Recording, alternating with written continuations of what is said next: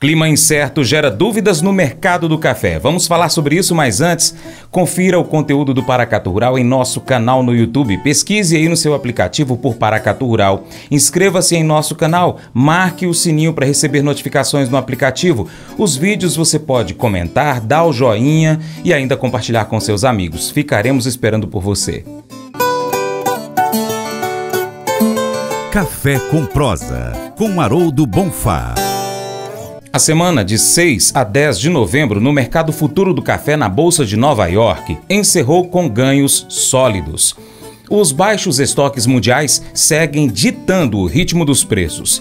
Na última quinta-feira, dia 9, os cafés certificados na Ice Filters caíram para os menores índices em 24 anos, conforme informações divulgadas pelo Conselho Nacional do Café, que previa há algum tempo.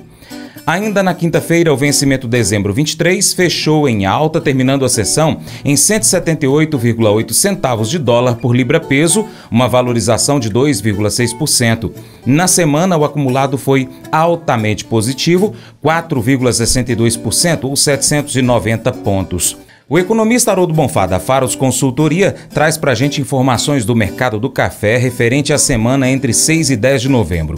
As ondas de calor Uh, por enquanto não tem impactado diretamente a qualidade das lavouras. Contudo, as notícias incertas em relação ao clima têm gerado dúvidas a longo prazo entre os compradores. Olá, bom dia Francis, bom dia Paracatu Rural, uh, bom dia Programa Diário Rural.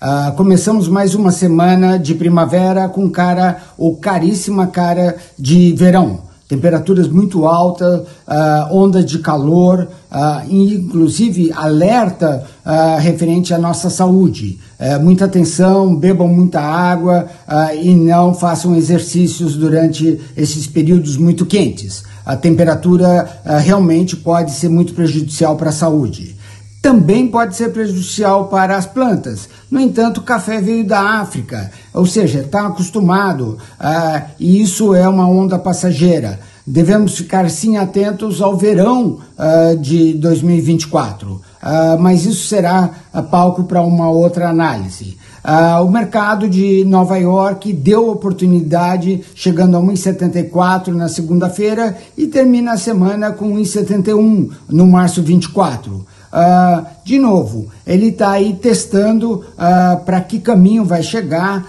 uh, uma vez que temos notícias díspares referente a muita chuva ou muito calor. Uh, e isso vai influenciar sim a, a safra 24 que está lá na frente. Uh, o dólar andou de lado, terminou em 4,91, abaixo de 5, como a gente já tinha falado, e assim deve continuar até o final do ano e boa parte do ano que vem.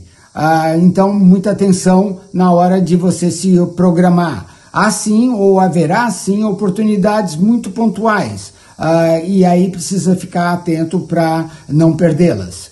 Uh, quanto a Londres, uh, Londres também andou uh, bem de lado, uh, ele caiu mais, terminou com 2,421, mas isso uh, tem aí uma preocupação muito grande com a safra uh, do Vietnã, que deve ser menor uh, do que em 23 do que o imaginado.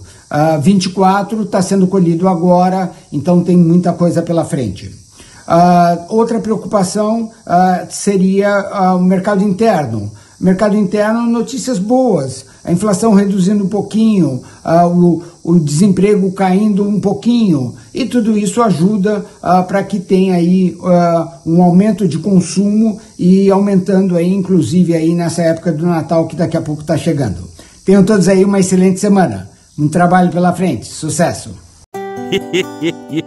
Mas eu vou dizer uma coisa pra você, viu? É, se quiser colocar propaganda sua aqui nesse programa, ó, eu vou dizer um negócio, você vai ter um resultado bom demais, senhor. É isso mesmo, é facinho, facinho, senhor. Você pode entrar em contato com os meninos ligando o telefone deles, é o 38, é o 991810123, bem fácil. É muito bom porque aí a sua empresa vai sair dentro de um programa que é ligado aí ao homem pra mulher do campo. É nós que vai estar tá assistindo e também vai ver sua propaganda. É bom ou não é? John Harper não tinha ideia do que estava prestes a acontecer quando ele e a sua filha de seis anos embarcaram no Titanic. Mas de uma coisa ele sabia: ele amava Jesus Cristo e ansiava muito para que outros o conhecessem também.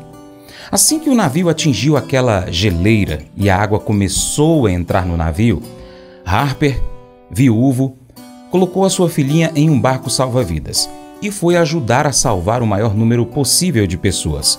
Ao distribuir coletes salva-vidas, ele gritava assim: Deixe as mulheres, crianças e os não salvos nos botes salva-vidas. Até o seu último suspiro, Harper compartilhou sobre Jesus Cristo com quem estava ao seu redor e entregou voluntariamente a sua vida para que outros pudessem sobreviver. Houve alguém que deu a sua vida gratuitamente dois mil anos atrás para que eu e você possamos viver não apenas esta vida, mas a vida eterna. Jesus não acordou num belo dia e decidiu que pagaria a pena de morte pelo pecado da humanidade. Essa foi a sua missão de vida. Quando Jesus Cristo com, conversava com os líderes religiosos judeus, ele reconheceu repentinamente que entregava a sua vida.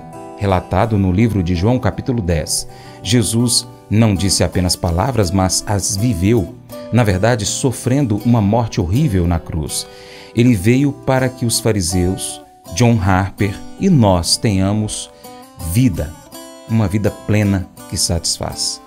Esse devocional faz parte do plano de estudos Amor ao Próximo do aplicativo bíblia.com.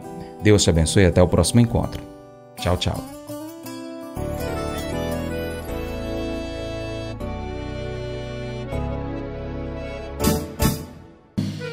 Acordo de manhã para prosear no mundo do campo, as notícias escutar. Vem com a gente em toda a região seu programa Paracatu Rural.